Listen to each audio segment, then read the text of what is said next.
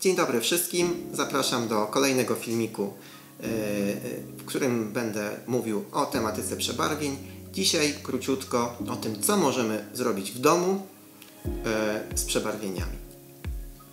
Od razu na wstępie powiem i chcę podkreślić bardzo wyraźnie, że nie ma skutecznych metod domowych na pozbycie się 90% przebarwień, czyli w uproszczeniu można powiedzieć, że jeśli się te przebarwienia pojawią, to w domu niewiele z nimi możemy zrobić. Za to możemy bardzo dużo zrobić, żeby przebarwienia się nie pojawiły. E, I to jest, bym powiedział, chyba najważniejsza strategia, żeby tak postępować, tak się zachowywać, tak dbać o skórę, tak ją traktować, tak, się, tak zarządzać naszym wystawianiem się na słońce, żeby nie dopuścić do powstawania przebarwień. Pierwszą sprawą jest słońce, o którym już mówiłem i cały czas będę to powtarzał, ponieważ bez słońca przebarwień w zasadzie nie ma. W miesiącach jego dużego promieniowania, duże, silnego promieniowania słonecznego, czyli między mniej więcej 10 maja a 10 sierpnia, bardzo musimy uważać na ekspozycję słoneczną, bo wtedy to słońce nie tylko dłużej świeci, bo mamy dłuższy dzień, ale i silniej świeci, więc promieniowanie jest dużo silniejsze. Warto o tym pamiętać, że nie tylko czerwiec, lipiec, e, ale również maj jest takim miesiącem, gdzie tego słońca już jest dosyć dużo. Za to sierpień wiele osób uważa, że jest bardzo e, takim miesiącem również prosłonecznym.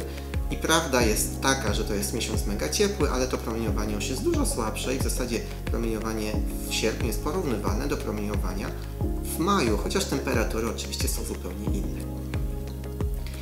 Drugą bardzo ważną rzeczą, o której chciałbym powiedzieć, jest to, że filtry UV, które tak powszechnie i bardzo dobrze stosujemy e, mm, na nasze ciało, nie zabezpieczą nas przed przebarwieniami. Po pierwsze, filtry chronią tylko przed promieniowaniem UV, a jak wiecie z poprzedniego filmiku, nie tylko promieniowanie UV, ale całe promieniowanie słoneczne jest odpowiedzialne za powstawanie przebarwień. A po drugie, filtry, szczególnie te mocne, te z faktorem SPF 50 na przykład, to są y, y, preparaty zawierające dość duże stężenie związków chemicznych, preparatów chemicznych, które mogą, no i dosyć często podrażniają skórę. Podrażnienie skóry, o czym też już wcześniej mówiłem, plus słońce może czy predysponuje do powstawania przebarwień. Dlatego pamiętajcie, że jeśli chcecie unikać przebarwień, to nie dajcie się zwieść myśleniu, posmaruję się grubo filtrem, będę się co 15 minut czy co godzinę dosmarowywał, przebarwieniami się nie pojawią. To nie jest prawda, pojawią się e, z bardzo dużym prawdopodobieństwem. E, z innych rzeczy, o których warto pamiętać, to unikanie podrażnień skóry w okresie dużego promieniowania słonecznego, czyli znowu od maja do połowy sierpnia. Warto tutaj wspomnieć, że podrażnienia skóry to nie tylko podrażnienia w gabinetach kosmetycznych, medycyny estetycznej, ale również w domu. W okresie dużego promieniowania słonecznego nie używamy preparatów z jak nawet małym, ale stężeniem kwasu, złuszczających nam skórę, czy to chemicznie, czy mechanicznie. Musimy tego unikać, ponieważ takie podrażnienie uwrażliwia skórę, uwrażliwiona skóra dużo łatwiej pod wpływem słońca ulega przebarwieniom, więc to jest wszystko zakazane. W kontekście zabiegów gabinetowych w zasadzie nie powinniśmy robić zabiegów kosmetycznych, kosmetologicznych, które mają nam odświeżać skórę, czyli szczególnie tych, które złuszczają w postaci peelingów chemicznych, mechanicznych, mikrodermoabrazja czy peeling za pomocą jakichś kwasów. E, wszystkiego, co drażni nam na skórę, bo na skórę, czyli ta wierzchnia warstwa skóry jest szczególnie e, tym miejscem, które e, podrażnione predysponuje do tworzenia przebarwień.